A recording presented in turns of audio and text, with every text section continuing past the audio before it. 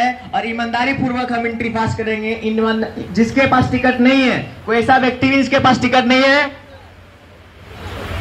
एक दूसरे का अगल बगल चेक कर लेना। अगल बगल चेक कर लेना है और जिसके पास टिकट नहीं है, जिसके पास टिकट नहीं है, उससे उलझना नहीं है, उसका सेल्फी लेना है। क्या लेना है? बगल वाला आदमी बैठ करके सेल्फी खींच लेना है और टॉप सीरियल पर भेज देना है और वहाँ पर दिखाया जाएगा गद्दार कौन है। कैसा रहेगा? कैसा रहेगा जी?